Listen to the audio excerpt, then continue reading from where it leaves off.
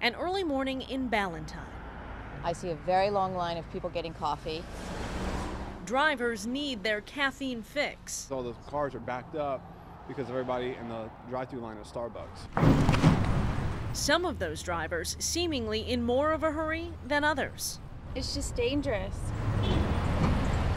This is Conlin Circle off Johnston Road. People who drive through here each morning say it's always a problem.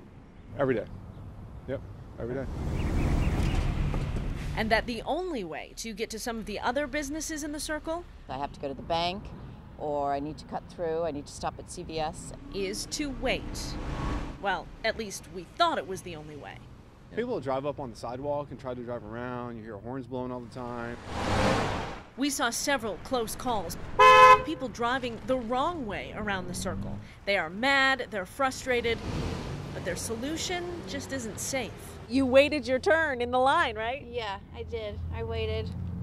And she cut me off. So, what can you do?